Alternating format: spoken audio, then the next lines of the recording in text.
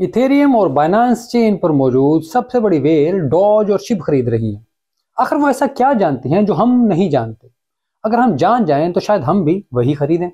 सरमायाकारी में सबसे अहम कानून स्मार्ट मनी का पीछा करना होता है। जो शख्स भी स्मार्ट मनी के पीछे जाता है, वो कभी नाकाम नहीं होता।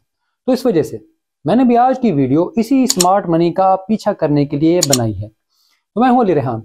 और आप देख रहे हैं क्रिप्टो बाबा। तो चले मेटावर्स में वेल का पीछा करते हैं।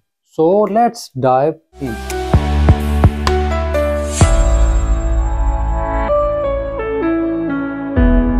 onchain data देखें तो आपको सबसे पहले पता चलता है कि बिटकॉइन बियरर्स इंतहाई परेशान है।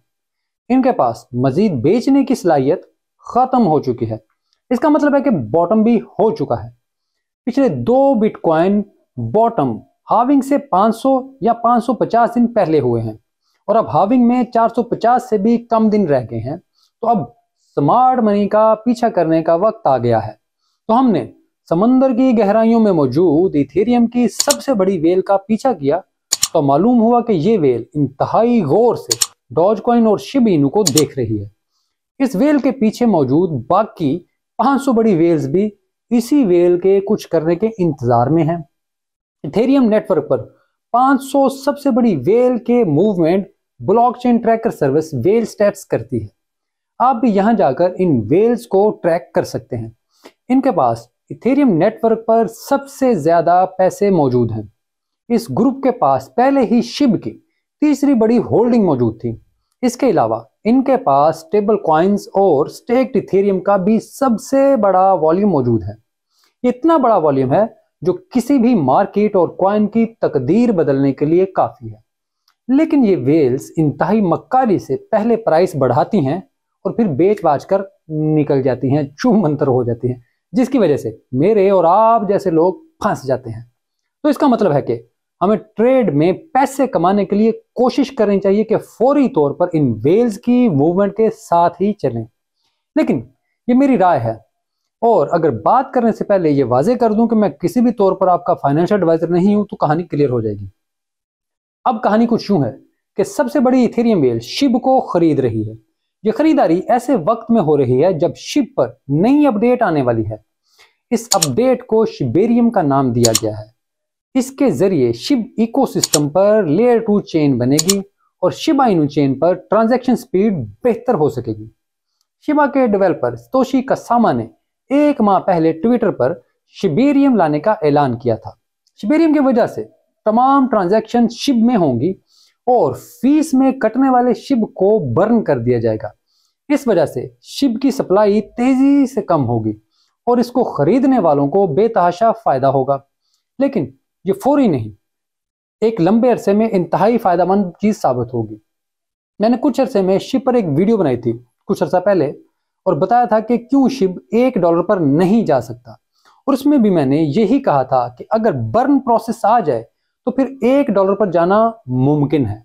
तो अगर आप इस वीडियो को देखना चाहें तो ज़रूर देख सकते हैं। वेल स्टेट्स के मुताबिक डॉज कॉइन को बनाइंस चेन पर मौजूद 100 सबसे बड़ी वेल्स खरीद रही हैं, जबकि इथेरियम पर मौजूद वेल्स भी इसे तेज़ी से खरीद रही हैं।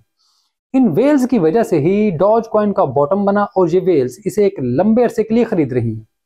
इन्हीं की वजह से 2022 के दौरान डॉज कॉइन को नुकसान भी सबसे कम हुआ और इसने पिछले साल सिर्फ़ अट्ठावन फ़ीसद प्राइस लूज की ओनली 58 परसेंट हालाँकि टॉप के मुताबिक इसकी प्राइस और बाकियों की प्राइस में तकरीबन एक जैसा ही नुकसान हुआ है। लेकिन पिछले साल इसमें कम नुकसान हुआ।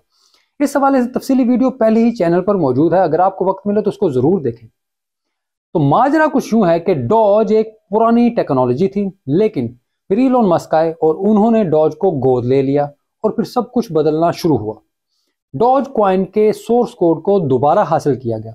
डॉज फाउंडेशन बनी, जिसमें इलोन मस्क का नुमाइंदा और इथेरियम के को फाउंडर वितालिक ब्यूट्रन शामिल हुए। 2021 में फाउंडेशन ने एक्टिवली काम शुरू किया।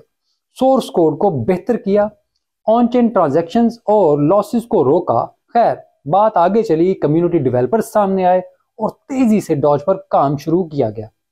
मुख्तलिफ़ ऐप्स बनाने का काम भी शुरू हुआ। मकसद सिर्फ़ एक, कि डॉज पर ट्रांजैक्शन को मौजूदा ट्रांजैक्शन कॉस्ट से 100 गुना सस्ता और हज़ार गुना तेज बनाना है, जो कहने में अच्छा है। लेकिन मौजूदा कंसेंसस मैकेनिज्म में यह बात मुमकिन नहीं थी।